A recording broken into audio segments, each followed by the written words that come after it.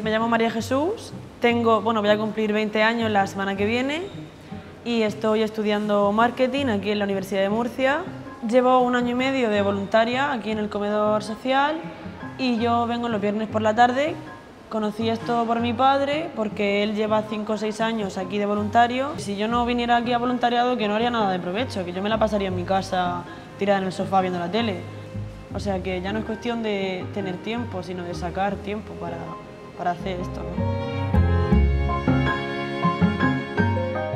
Los jóvenes parece que estamos todo el día viendo la tele o de fiesta o por ahí emborrachándonos, pero los jóvenes trabajamos, los jóvenes estudiamos carreras, eh, hacemos voluntariados, ayudamos en casa, o sea, yo no tengo ningún amigo que no esté haciendo nada.